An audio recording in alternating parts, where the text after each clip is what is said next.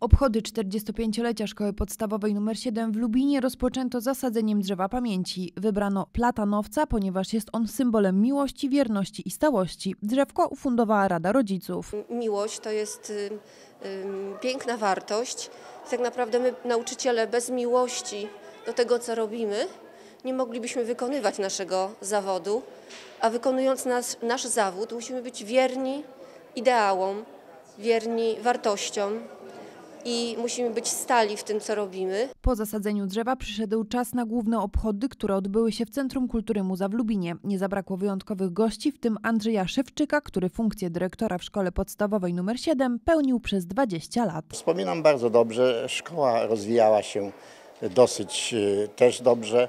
E, Mieliśmy sporo uczniów z całego Lubina, a nawet e, z zewnątrz jeszcze, ponieważ z pobliskich miejscowości również e, dzieci i młodzież e, była szkolona, jeżeli chodzi o e, sport. W szkole uczniowie mogą trenować lekkoatletykę, łyżwiarstwo szybkie z wrotkarstwem, pływanie, piłkę ręczną, nożną oraz siatkówkę. Aktualnie jestem w, na, w klasie o profilu piłki ręcznej i spełniam się w tym, bo robię to, co kocham. Podoba mi się w mojej szkole to, że jest bardzo rodzinna atmosfera, wszyscy są razem, nie ma jakichś gorszych, lepszych, tylko jest naprawdę wszyscy są na jednym poziomie i wszyscy są zgrani. Uczniowie trenują m.in. na dwóch salach gimnastycznych, siłowni sportowej oraz boisku z torem lekkoatletycznym.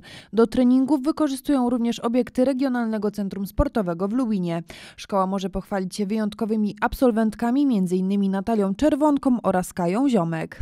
To są absolwentki e, szkoły sportowej, z szkoły podstawowej nr 7 e, w Lubinie. E, Przede wszystkim stworzono odpowiednie warunki do uprawiania tej dyscypliny sportu. Mamy e, tor do jazdy szybkiej na lodzie i oczywiście klasy sportowe, które były o profilu łyżwiarstwa szybkiego. I dzięki temu no, wychowaliśmy olimpijki. Obecna dyrektor placówki Barbara Szymańska doskonale pamięta swoje początki w szkole. Najpierw jako nauczyciel, a później dyrektor. Pierwszy dzień e, e, na stanowisku dyrektora, przede wszystkim to e, było takie poczucie, które na mnie spłynęło, poczucie wielkiej odpowiedzialności. Odpowiedzialności za szkołę, a szkoła to przecież uczniowie i nauczyciele, za efekty pracy całej szkoły. Pedagodzy przyznają, że wychowywanie sportowców wymaga większego wysiłku, ale praca z uczniami, którzy realizują własne pasje, wszystko rekompensuje.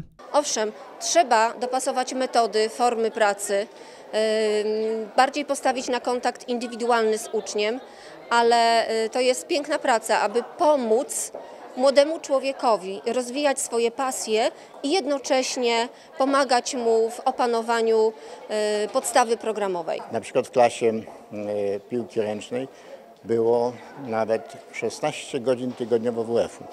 Więc nie sposób, żeby to e, zrealizować w ciągu pięciu dni, także jeszcze były zajęcia w sobotę. Także było to dosyć duże obciążenie dla uczniów. Obecnie w szkole uczy się 600 uczniów, a nad ich rozwojem czuwa 80 nauczycieli. Z okazji 45-lecia placówki odbyła się również msza święta w kościele pod wezwaniem Matki Bożej Częstochowskiej oraz koncert wspomnieniowy w Muzie.